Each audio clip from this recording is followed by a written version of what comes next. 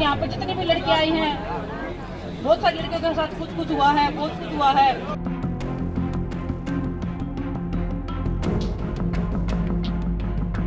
Coaches हैं जो federation के खास हैं, जो खुद शोषण करते हैं, महिला कोचों के साथ में गलत व्यवहार करते हैं, उसकी मैंने आवाज़ उठाई है इस बार। और वही कोचिज जो कैंप में लड़कियाँ होती हैं, उनके साथ में बातचीत करवाते हैं लड़कियों की शोषण करवाने के लिए ही। और अध्यक्ष जी ने खुद पता नहीं कितनी लड़कियों का शोषण किया है आज तक। हमने अपनी आवाज़ हक की आवाज़ उठाई है और झुकने वाले नहीं है जब तक हम नहीं जीत सकते हैं। ऐसे संगीन आरोप लगे हैं कि इन संगीन आरोप आरोपों को देखते हुए रेलेवेंट धाराओं के मुकदमे दर्ज किए जाएँ कुश्ती संघ के अधिकारियों पे और कानूनी कार्रवाई इसमें की जाए। हमारी निजी ज़िंदगी में दखलंदाजी करते हैं कि मैंने किससे शादी कर ली कौन मेरा बॉयफ्रेंड है कौन मेरी गर्लफ्रेंड है। फिर खिलाड़ी ये जो जो ये खिलाड़ी कर रहे हैं इनकी संख्या एक परसेंट से भी कम है। देश के प्रधानमंत्री जी जब हमसे पूछेंगे हम उनको सबूत देने के लिए रेडी हैं। ओलंपिक पदक विजेता हो या राष्ट्रमंडल खेलों में पदक जीतकर तिरंगा लहराने वाली कुश्ती खिलाड़ी। कड़ाके की सर्दी में दिल्ली के जंतर मंतर पर करीब 30 पहलवान धरने पर बैठे हुए हैं। इन पहलवानों ने कुश्ती महासंघ के अध्यक्ष ब्रजभूषण शरण सिंह पर यौन उत्पीड़न समेत कई संगीन आरोप लगाए हैं। अखबार, टीवी या डिजिटल मीडिया के ज़रिए खबर आप तक भी पहुँची होगी। अब इस वीडियो में आप जानेंगे कि आखिर ये ब्रजभूषण शरण सिंह हैं कौन? पहलवान से छात्र नेता बनने तक, दबंग से सांसद बनने तक और भारतीय जनता पार्टी से लेकर समाजवादी पार्टी और फिर बीजेपी के सांसद बनने तक, बाबरी मस्जिद केस में नाम कैसे आया और कैसे एक सांसद कुश्ती महासंघ का अध्यक्ष बन गया। मंच पर पहलवान को थप्पड़ मारने का विवाद हो या पहलवानों के लिए कुश्ती में कॉन्ट्रैक्ट सिस्टम लाना हो, पूरी कहानी आपको सुनाएँगे। शुरू करते हैं।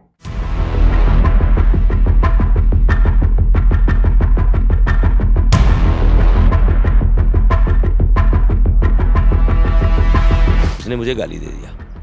और कहा, साले, जा करके पर्चा उठा लो, तुम आनंद सिंह के खिलाफ चुनाव लड़ोगे। आनंद सिंह के बिना मर्ज़ी के चुनाव लड़ोगे मैंने वहीं पर पिस्टल निकाल लिया और एक गाली के बदले 200 गाली दिया।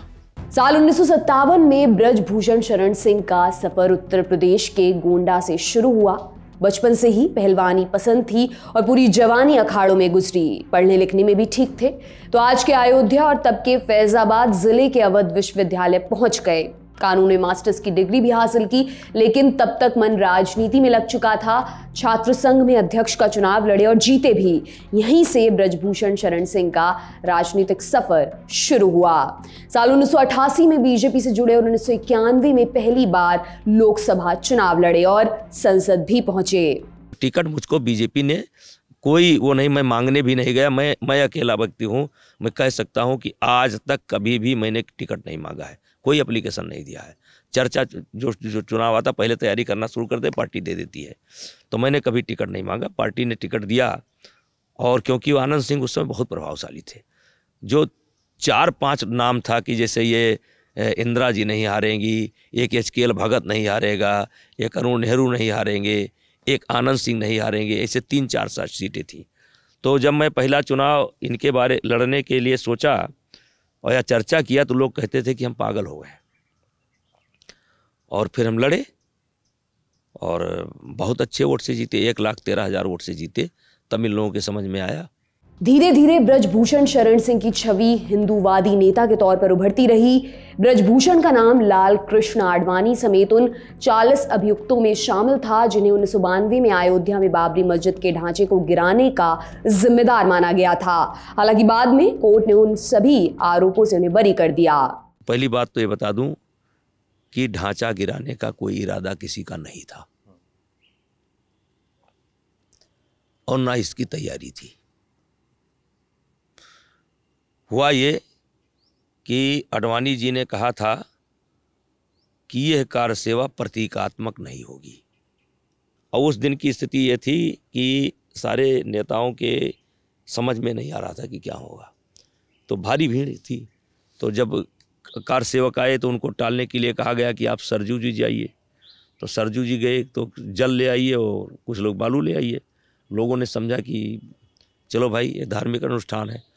तो एक दो चक्कर गए, लेकिन दो तीन किलोमीटर का जो चक्कर मारे और जब दूसरी बार, तीसरी बार भेजे तो वो गाली दे करके हमला कर दिए।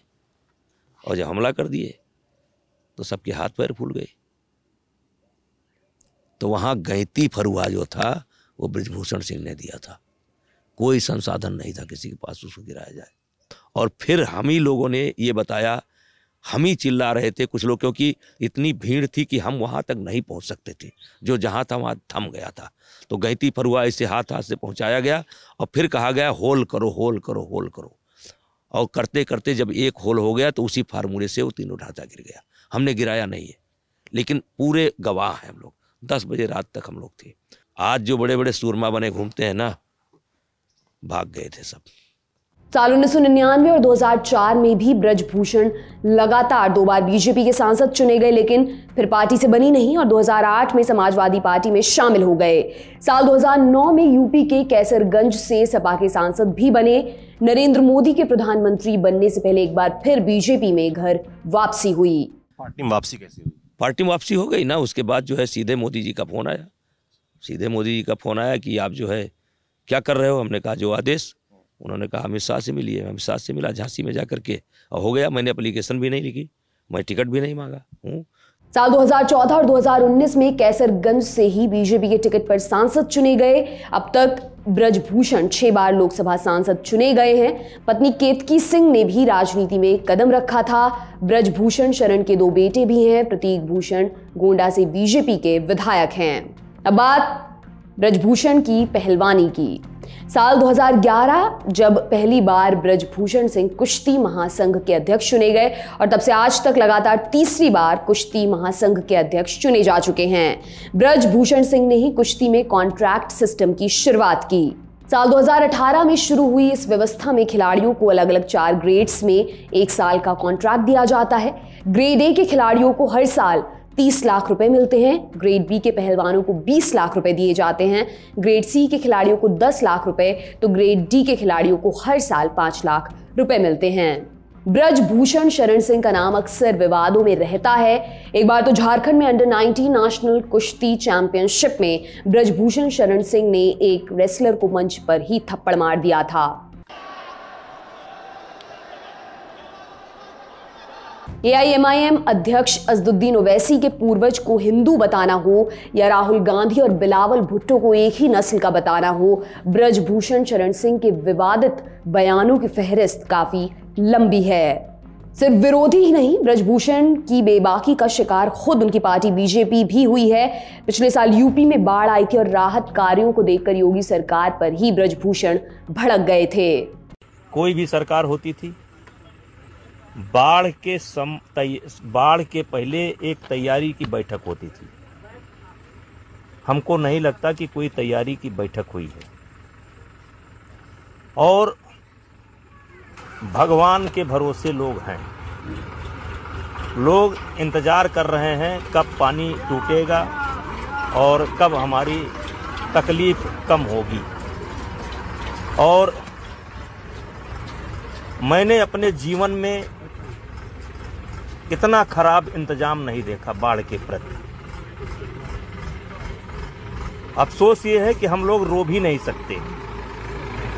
अपने भाव को व्यक्त भी नहीं कर सकते।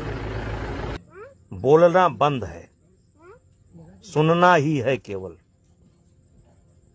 बोलना बंद है। जनप्रतिनिधियों की जबान बंद है। बोलना बंद है। बोलोगे, बागी कहलाओगे। सुझाव दोगे, कोई मानेगा नहीं।